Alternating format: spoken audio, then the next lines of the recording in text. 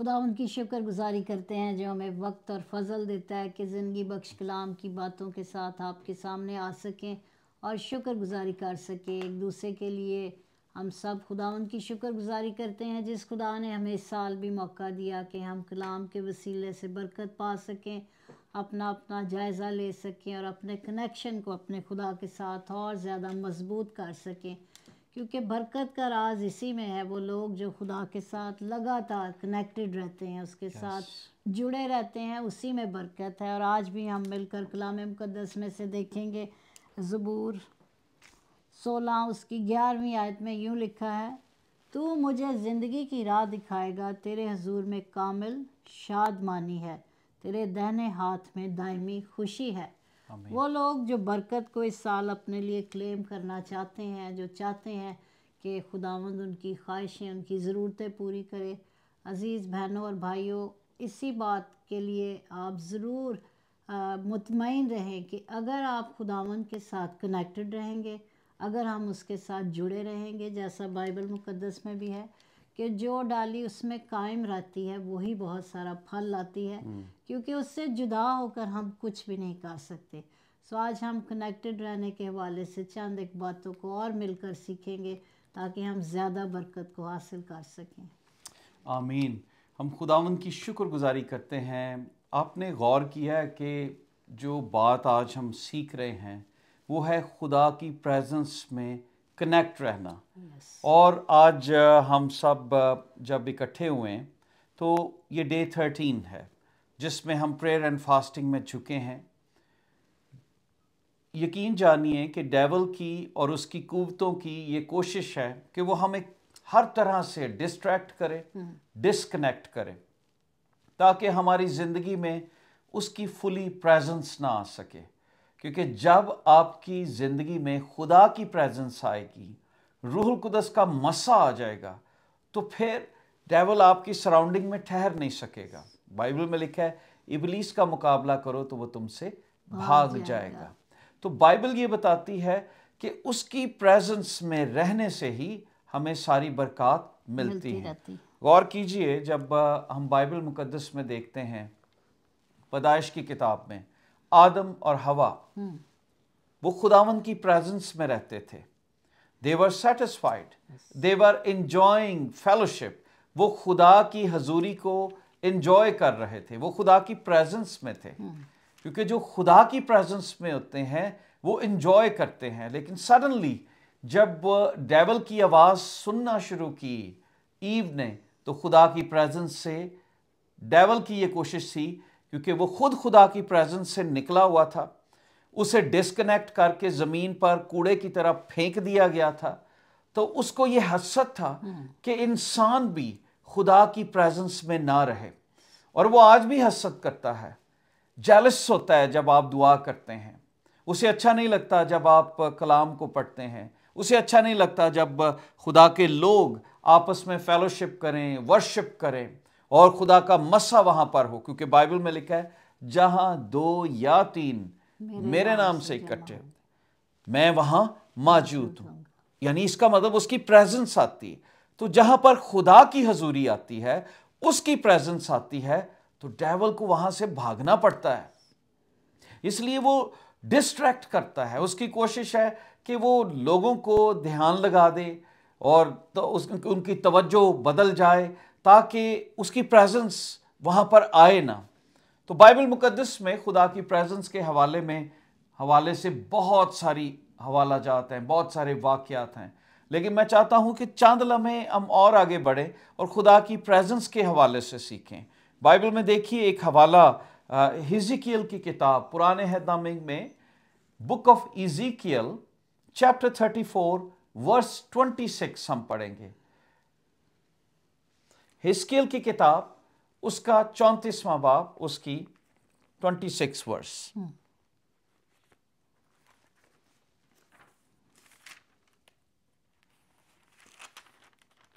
Bible मुकदस में लिखा है अगर आप अगर आपने निकाल लिया तो मेरे लिए पढ़ दीजिए।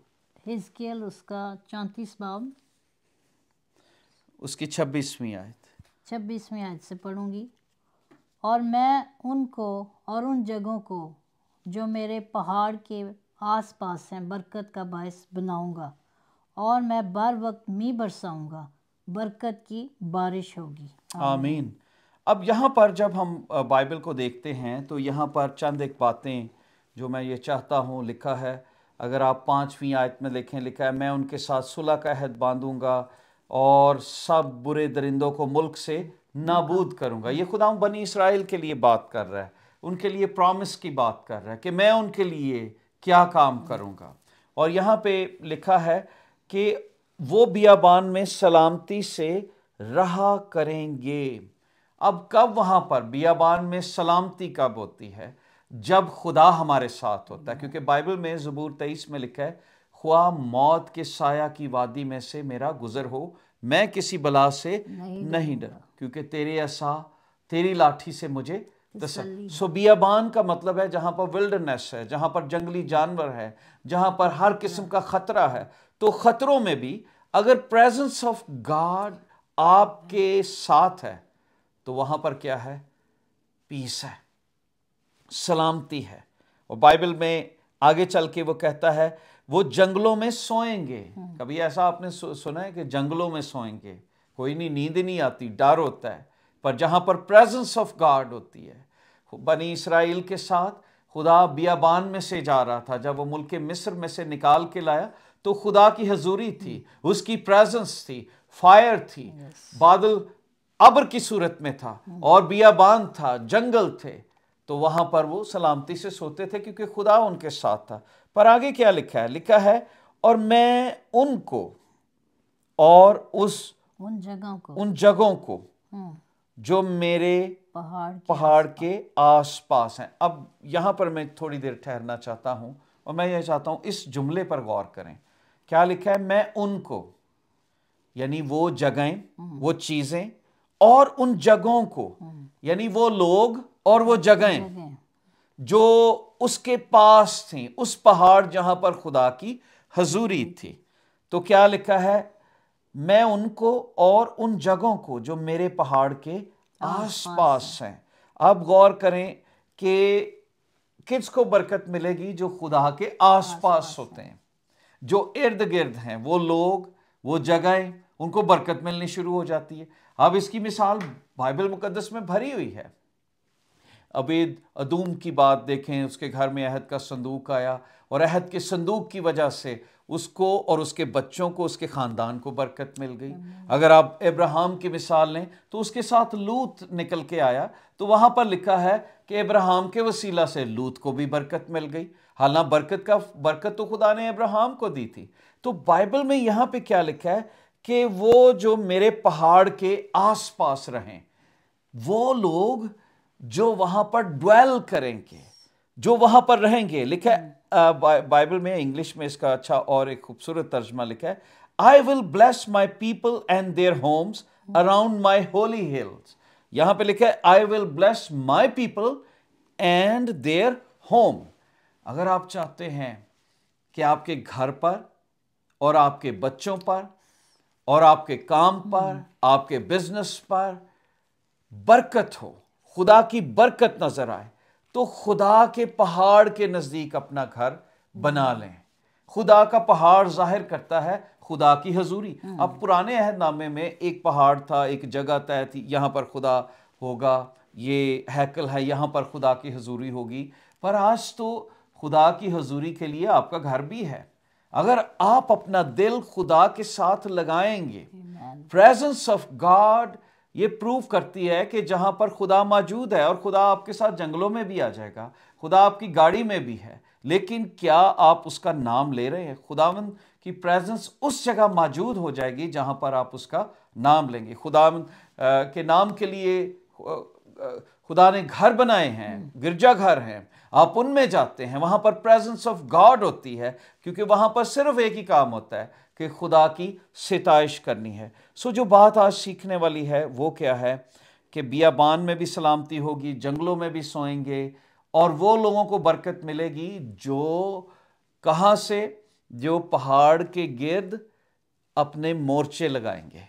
जो उसके आसपास रहेंगे जो उसके साथ कनेक्ट रहेंगे और आज जब हम हाज़िरी की बात करते हैं तो ज़बूर नवीस ज़बूरों में कई दफ़ा ये बात को आ, कहते हुए बयान करते हुए नज़र आते हैं। ज़बूर पचानवे की भी दूसरी आयत में लिखा है शुक्रगुजारी करते हुए उसके हजूर में हाजिर हो मजमूर गाते हुए उसके आगे खुशी से ललकारो। हाँ जी और हम फिर लिखा है सब अहले ज़मीन खुदावन के हजूर गाओ। बहुत सारे ज़बूरों में उसकी हजूरी के मतलब बयान किया गया है कि हमें उसकी हजूरी में Presence, जाना कैसे है yes. उसकी प्रेजेंस में रहना कैसे है उसकी प्रेजेंस में रहने की बरकतें कैसी हैं।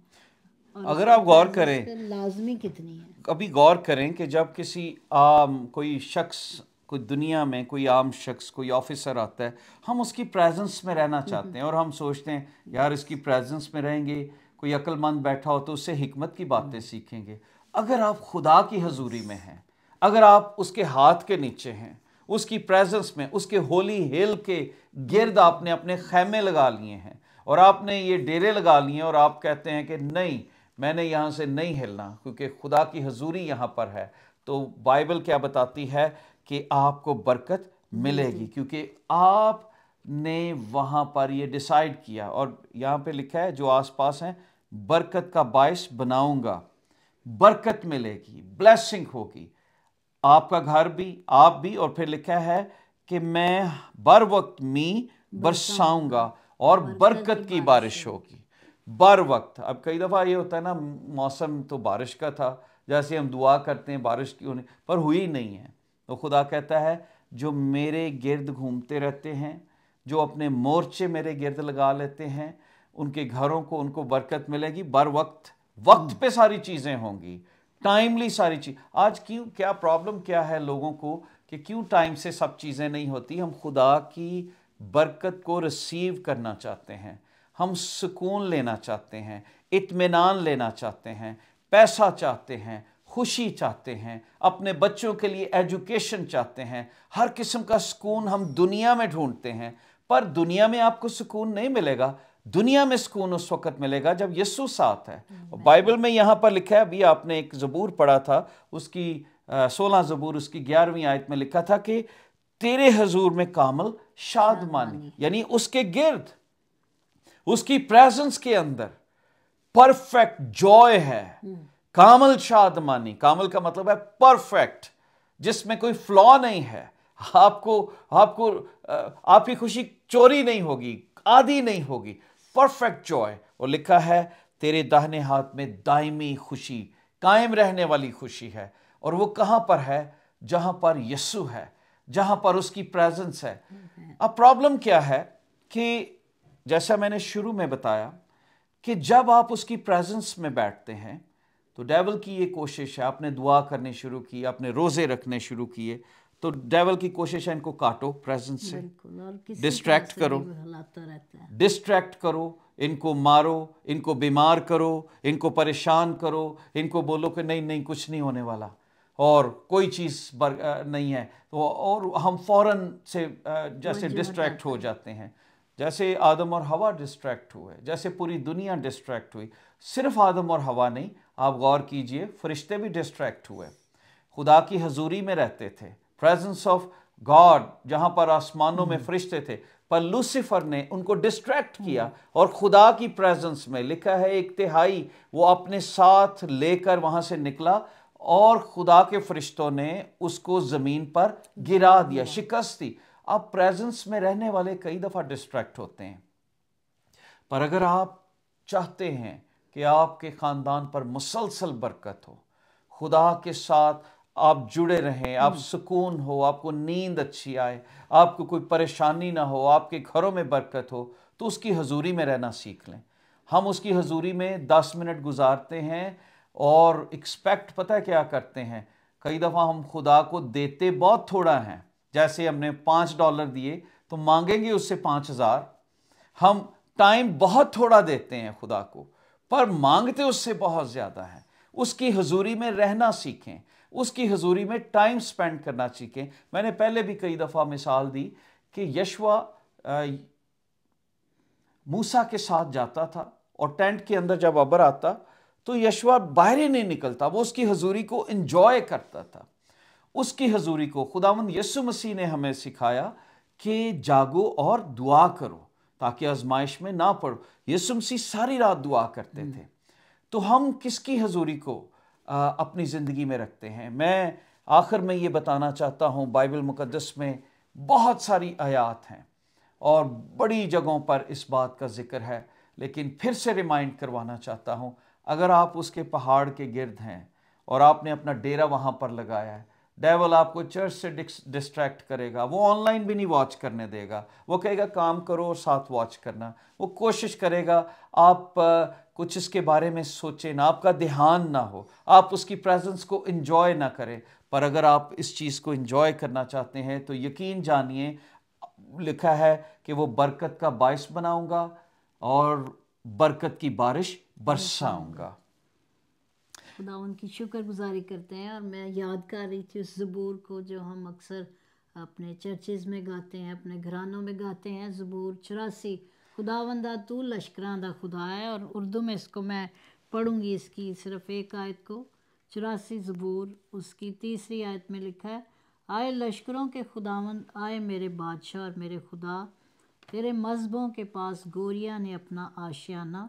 और अबाबील ने अपने लिए घोंसला बना लिया हम्म। जहाँ वो अपने बच्चों को रखे। मुबारक हैं वो जो तेरे घर में रहते हैं वो सदा तेरी तारीफ़ करेंगे। आमीन।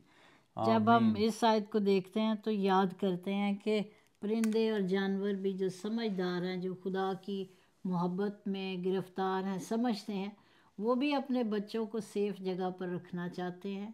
तो इंसान को तो खुदावन ने अशरफुल मखलूक बनाया और यहाँ पे जो बात लिखी गई, उन्होंने बताया कि मुबारक हैं वो जो तेरे घर में रहते हैं। आप मुबारक लोग हैं, अगर आप खुदावन की कुर्बत में रहते हैं, उसकी नज़दीकी में रहते हैं और खुदावंद आपको ब्लस करता है तो यकीनन ये साल भी आपके लिए बरकतों का साल है। और अगर अभी तक आप उस तरह से कनेक्टेड नहीं हुए तो मैं ये समझती हूँ हमेशा कि हर साल और हर दिन खुदा की तरफ़ से एक बरकत लाता है और yes. हमें मौका मिल जाता है कि हम समझ सके कि हमें उसके और ज़्यादा करीब जाने की ज़रूरत कनेक्ट होने के लिए यस्सु की हजूरी मसीह को शख्सी नजात दहिंदा कबूल करना बहुत ज़रूरी है। आमीन अगर आपने यस्सु को शख्सी नजात दहिंदा कबूल नहीं किया अभी तक आपने रोज़ा भी रख रहे हैं दुआ भी कर रहे हैं तो कोई इतना फ़र्क नहीं पड़ने वाला। एक अमीर शख्स खुदावन के पीछे आया, कहता, क्या करूँ कि आसमान की बात कि मैं हमेशा की ज़िंदगी हासिल करूँ? यीशु को पता लगा कि ये बहुत मालदार है तो उस खुदावन ने उसे कहा, जा, अपना सारा माल बेच और मेरे पीछे हो ले। आसमान पर तुझे अजर मिलेगा। तो उसने कहा कि दिस इज़ वेरी डिफ़िकल्ट ये नहीं हो सकता। मसीह का ज़िंदगी में होना बरकत को लेने, अगर आप बरकत लेना चाहते हैं तो बरकत जिससे निकलती है, वो उसको ज़िंदगी में लीजिए और उसको अपने ज़िंदगियों में दावत दें। और होली पहाड़, हम किसी पहाड़ के ऊपर नहीं जा रहे। ना वो पहाड़ कि हम वहाँ पर जाएँगे, वहाँ पर हजूरी है। वो पहाड़ जहाँ पर खुदा की हजूरी थी वो आपके दिल में आ गया है।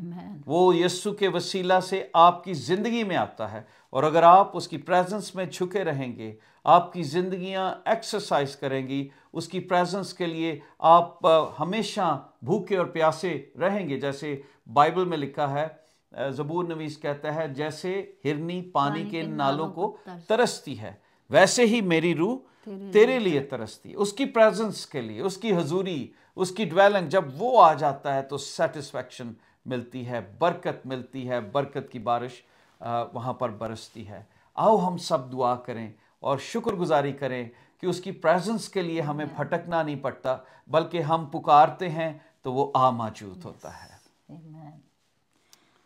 खुदावन जो बहुत मेहरबान बाप है, आज फिर से हम तेरी शुक्रगुजारी करते हैं। इस थर्टीन डे में भी खुदावन तूने इन तमाम बहन भाइयों को, अजीज़ों को बड़ी सलामती दी, बड़ी बरकत दी, और खुदावन तूने आज फिर से बताया कि खुदा बाप वो मुबारक लोग हैं जो तेरे साथ जुड़े रहते हैं।